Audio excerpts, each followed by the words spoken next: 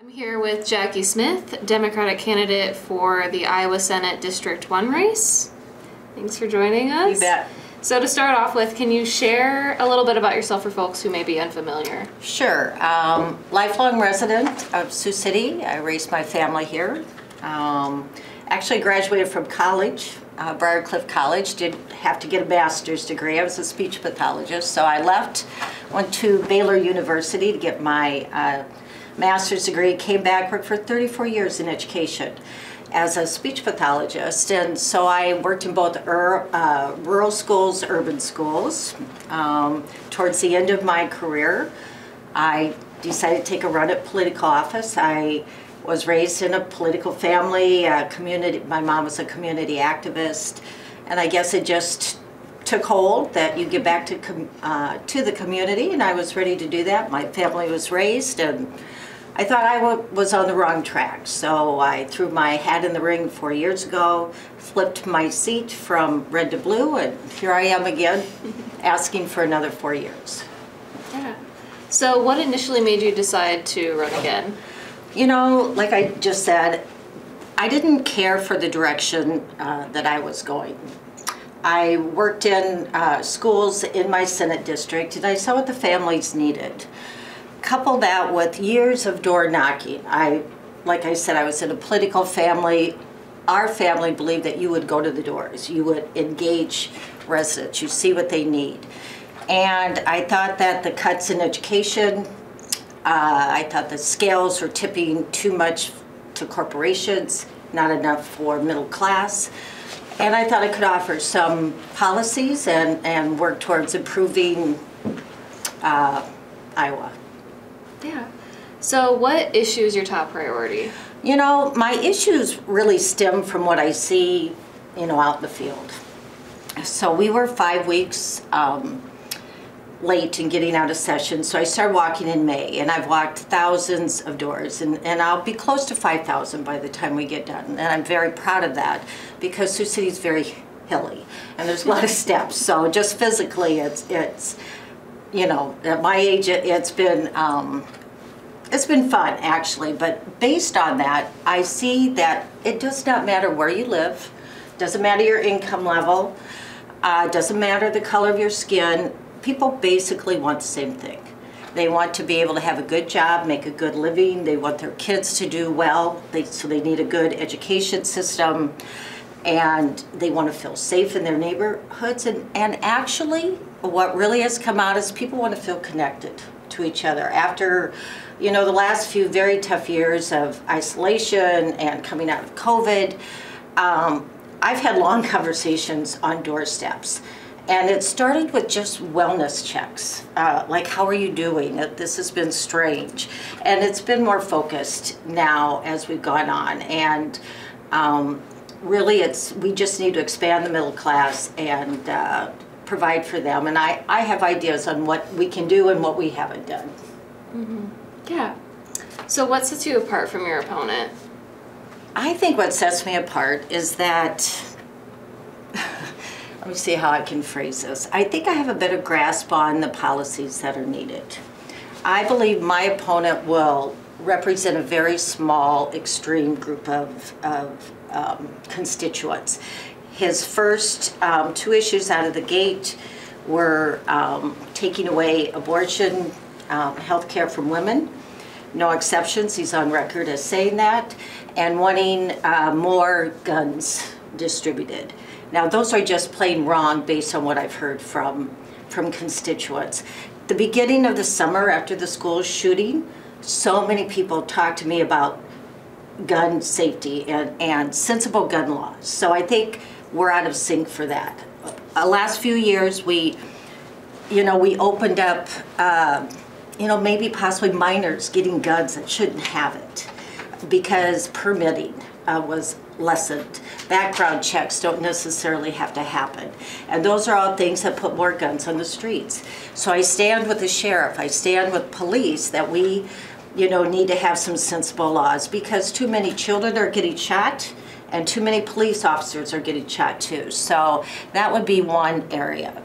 The other area is, you know, I am quite sure that it, my opponent will be another yes vote for the governor. And as one very prominent uh, business person said to me, we need some checks and balances. The, having control by one party of all three branches just does not give a level playing field to all families. So I feel that I bring that voice. Yeah. So if you're approached by voters with issues that they want you to look into, what's your process to going into that? You know, I, I take notes, and there are just all sorts of uh, different issues. There was something on window tint, and this was just recently. Um, and I sat on a subcommittee for window tint. Doesn't sound like a big issue, but the troop and the bill was to um, uh, to increase the window tint to be able to make um, windows darker. And four troopers uh, were behind me in this very small room. There are three of us on the subcommittee saying, uh, we don't want that. That makes our job safer. They had examples of going up to a car not knowing if someone had a gun. But this gentleman showed me, took off his sunglasses, goes, I know it's about the window tint. Can I ask you about your vote on that? He was paying attention and he was all sunburnt and he had some sun damage. So he says, I need a tinted window. So I can go back and I already did do some research on that and evidently you don't need real dark windows to, to block out the UV, but I can take stories like that. Let me give another one on childcare. Talked to a woman, she said, I am an example of someone who had been on, on food stamps. She goes, I have pulled myself out of, of poverty. She goes, I'm a little bit above it. I work at Head Start now. She says, I want to talk to you about childcare. She said, we have great programs if you are at poverty level or, or below. But if you are at income level right above that and you're that family, um, she said more people, more needs to be done. I was happy to tell her when Democrats have increased tax credit, child care track, tax credits for that income level, but not enough. So my solution that I will take back specifically is to introduce legislation that increases income levels and uh, the amount of the tax credit because women are not going back to work because of, of the high cost of daycare. In fact, I hear stories of, of families not having another child because of daycare.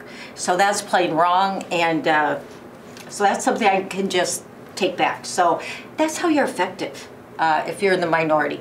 You take the stories and, and you make sure that your policies are matching what you think most people need. So out on the campaign trail, what are some of the bigger issues that you've been hearing from voters? You know, I brought up guns before. I brought up uh, a woman's uh, right to an abortion. There's, you know, varying degrees on that. But honestly, the number one issue is rising prices and inflation. And every family that I've talked to, every person is affected by that. Uh, I am too. So, you know, it's like most people understand that's federal issues at the state level. We don't necessarily cause inflation. However, you know, people are looking at what can you do? And, and I think that's a very fair question. So, uh, expanding childcare credits, just like what we talked. I offered um, a tax proposal instead of giving the top 2%, um, you know, uh, a tax break, I would have kept them at the same level and, and lower the taxes for the middle class. I would have targeted those uh, much more. We were able to, um, you know, re- cut the tax on feminine hygiene products, diapers, uh, both adult and baby diapers. And believe it or not, that's a cost for many families. Um, and so I was proud to be able to support and, and vote for that. You know, so that that's it. Um, that, that's kind of how it goes down. You know, you talk to the people, it's a citizens legislature, and you go back and, and you know, you have to, you represent everyone after you're elected. Very different than a campaign. Very different.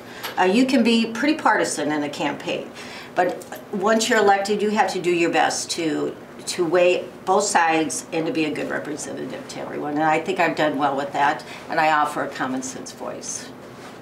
Well, those are the main questions that I had, unless there's anything else that you want to add or include. The only thing that I would add is that, um, you know, I sit on education committees, I come out of education committees, and the attack on public, public education this last four years has been inexcusable.